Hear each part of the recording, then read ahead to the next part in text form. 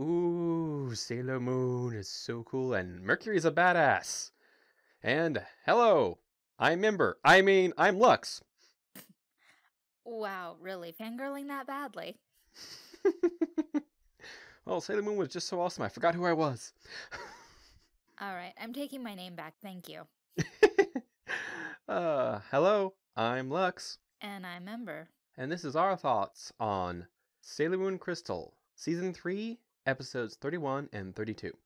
And as I said just at the intro there, Sailor Mercury is a badass, jumping out of a window several stories high and transforming and landing in the pool. Holy freaking hell! Uh, 13 stories to be exact, and let's not forget that she took out the security camera with a pen in the meantime. And this is one of the many reasons I like Sailor Mercury. so, yeah, these episodes were really cool. I'm getting really invested. Sailor Mercury is just awesome. Some more stuff going on with the villains, and in these episodes, they actually said their levels.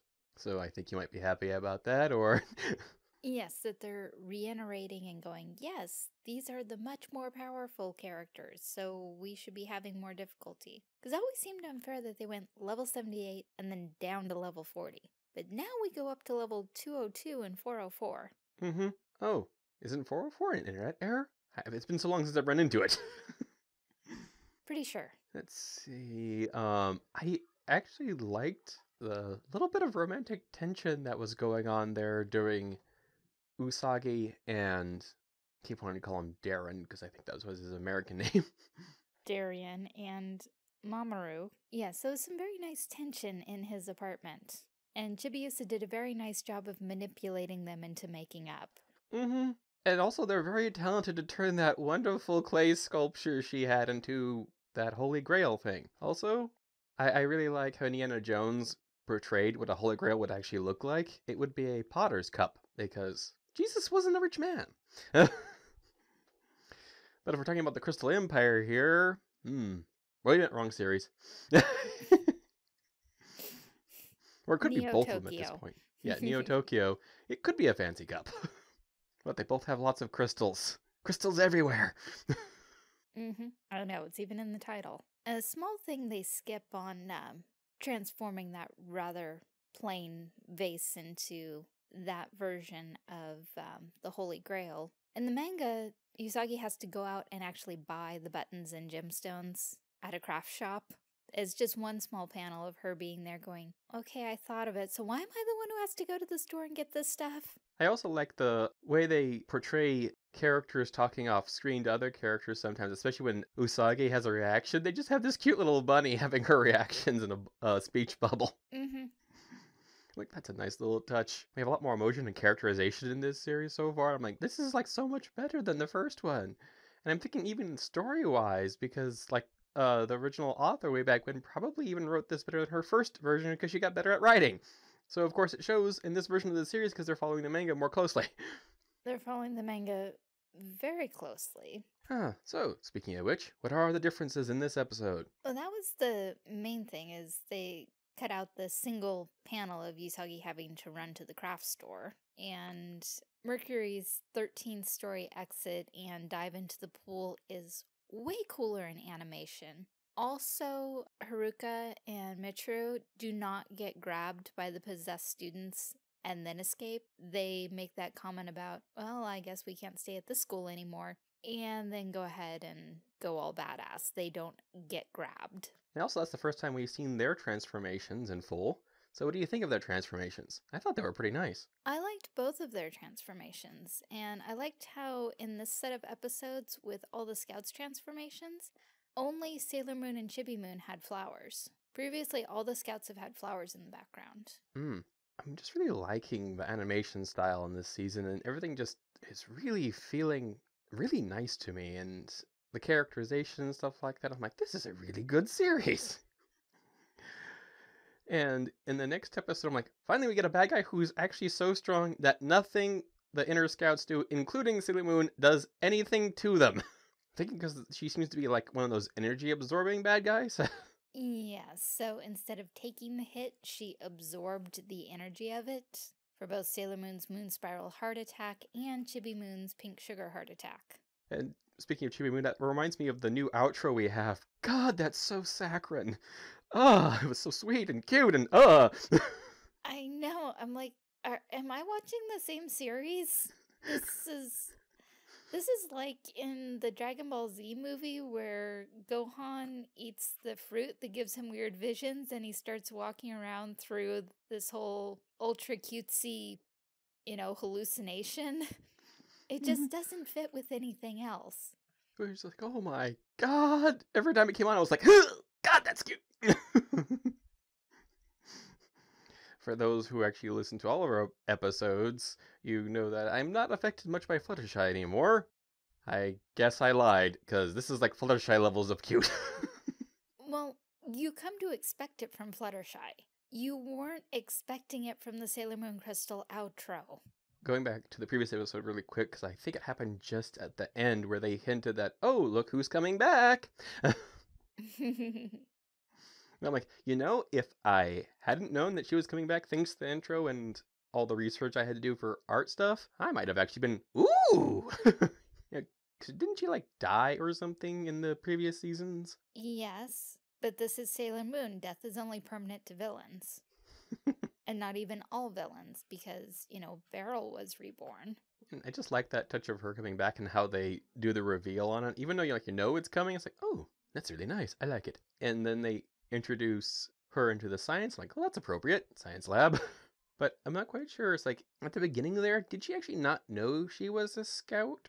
And then she was awakened as a scout again? So did she like die and get reincarnated in some way? Or was this person always on Earth? ready to awaken to be a scout? Because that's what I'm trying to figure out. like, how does this timeline work? The timeline doesn't work, but she was reborn. But the thing is, since she is a descendant of the god of time, she could have been reborn before she actually died. Thank you, time travel. Excuse me for a moment where I figure out how to put my brain back together. So, plenty of good action. This episode seemed to be mostly focused on Sailor Moon trying to like why can't we just meet them and talk to them? why do they have to be so separate from us? Yeah, the whole time you just hear the song going, Why can't we be friends?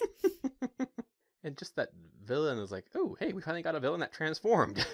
yes, because so far none of the Witches 5 have really done that inside the series, even though the first one, the fire one, did it inside the manga. I really liked the way the action played out. I like the we finally get the villain who did the oh I absorb your powers ha ha ha, and then we get the whole I sense that our fellow scouts are in danger. We must do something. And then Mamoru was like, wait a minute, I feel a disturbance in the force. Someone's awakening. oh no, the force awakens. Sorry, couldn't help it.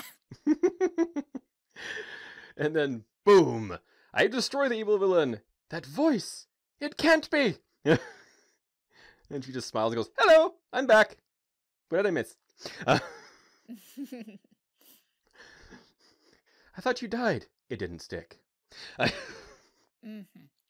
And thankfully, this is one of the outer scouts who is kindly inclined towards the inner scouts because Neptune and Uranus were reacting to Setsuna being in danger, not the inner scouts.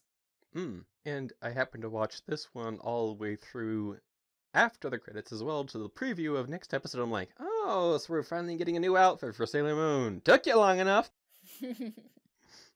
I mean, how many power upgrades has she had already and still no new outfit? well, the difference between getting an outfit upgrade in a manga and an outfit upgrade in an animation, you know, you still have to draw the manga in the animation, once you've drawn a transformation sequence, you just recycle, rinse and repeat. In order to have a new outfit, you have to animate a whole new transformation sequence. Hmm. So, speaking of whole new, what are the difference between this and the manga? There was a bit more exposition in the manga where things were more spelled out, where in the episode everyone was allowed more to intuit and figure things out on their own. So I actually liked on both episodes the variances between the original and the manga. I actually liked uh, the changes that they made to the animation. Hmm. Yeah, because it seems like they're streamlining things because they're getting rid of stuff like we don't need Sailor Moon to go off and fetch stuff. We don't need this. We don't need that. It's like little things they get rid of instead of like other manga to anime translations where like you just you basically got rid of an entire character arc right there. Why did you do that? uh, or what happens to the poor guy who did love Hina and Negima? Every time they turn his stuff into anime, they completely botch it because they're like, we don't need his story. No one liked that anyways. They just want the pretty girls. We'll put them up on screen. Yeah. Yeah, that's not how it works. But Makoto got to be a lot smarter about the plants in the anime, and where she got the kitchen knife from was much clearer in the anime. It was a smaller knife. Is in the manga, she has like a big butcher's knife, and it's not clear where she grabbed it from. I mean, she loves to cook, so obviously it's going to be in the apartment, but I liked how it was more of that was the nearest weapon because they were having tea and there were sliced apples on the table. So the knife Mm. was right there. It also reminded me of two things, really. One, in episode 31, there was this weird thing where they just showed a hand. I can't remember exactly what scene it is, but they basically just showed a hand to indicate something. And I'm like, what? what's that hand for? Was she like holding her hand out or something? It was actually a person pointing in a direction. I'm like, yeah, you don't do it that way because the hand is not indicating anything. It's a palm up facing out, which usually indicates something's going to be put in that hand. If you want to show someone pointing, you actually show their entire arm indicating a direction. That's the only thing that's um, in the animation direction that I was like, that's odd. Why did they do that? Of course, in the following episode, they do it right, and they have some person indicating that's the direction you go. I also like the little touch where they showed that the energies are different colors from each of the scouts. Mm-hmm. Is all the energy that's been taken from all the humans has been very uniform. So not only does this show that the scouts are different from ordinary humans, it shows that they are different from each other. And speaking of small animation things, when Furu and uh, I'm gonna butcher her name, uh, the other the girl that he was with from the mineralogy club, when Mhm. they're on the train together, there is this section right by her neck that's very lightly animated, and it really just stood out to me as not belonging with the rest of the background. But when they changed the angle of how they were looking out, it then suddenly matched with the background. Hmm. I didn't pick up on that at all. Well, I didn't pick up on your hand thing, so we're even. Yeah. So to me, it was just this weird shot of it's just a hand with palm out. And I'm like, okay. Um Ah, I remember is when Amy walks in and asks the, for directions to where she's supposed to go, and the lady at the desk goes, "Okay, it's this way." And her hand, all they have is a frame of her hand out from like the wrist to the tips of the fingers. And I'm like, "What? Is she asking for something? What? Huh?" when like a smart shot would have been a they would have stayed with the white shot and just had her move her arm to point in the direction of that's where you go.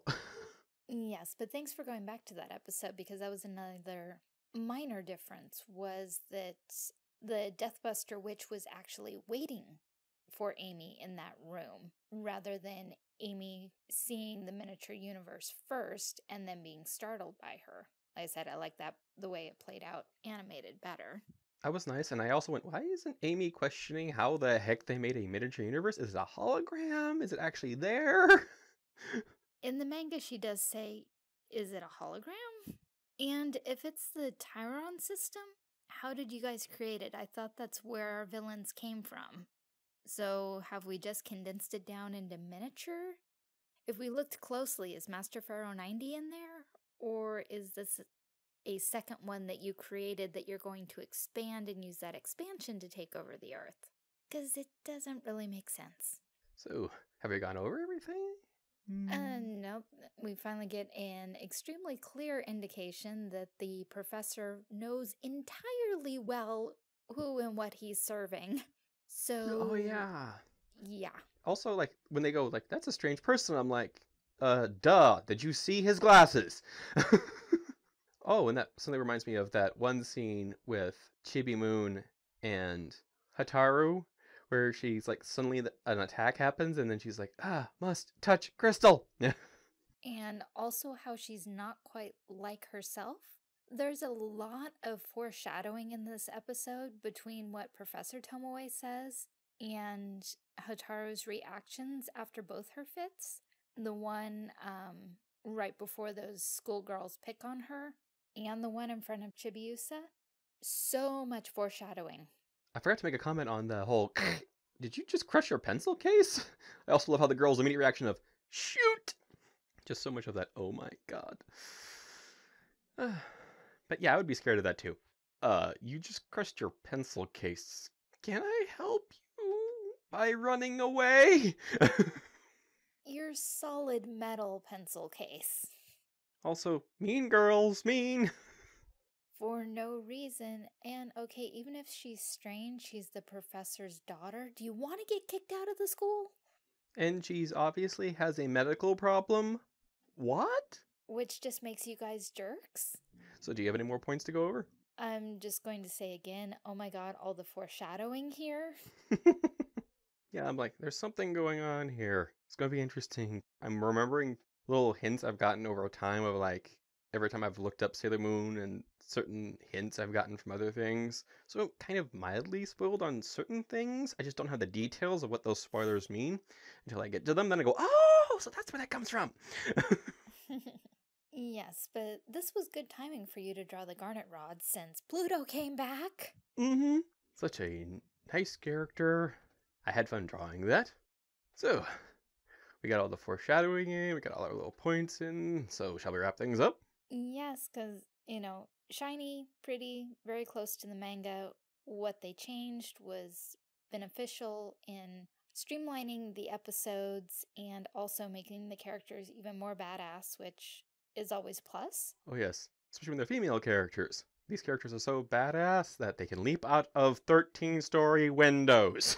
Dive into a pool and surface perfectly fine and fully transformed.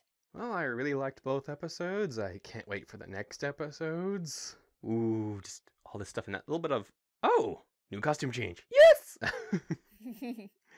well, I hope you enjoyed our thoughts on Sailor Moon Crystal, Season 3, Episodes 31 and 32. Thanks for listening. If you want to be notified of new episodes, please subscribe. I would really enjoy that and it would encourage us to continue to do more episodes. If you enjoy Lux's art, you can find more on DeviantArt and Tumblr. If you would like to support Lux's creative talent, you can check out his Patreon or check the link below for commission availability.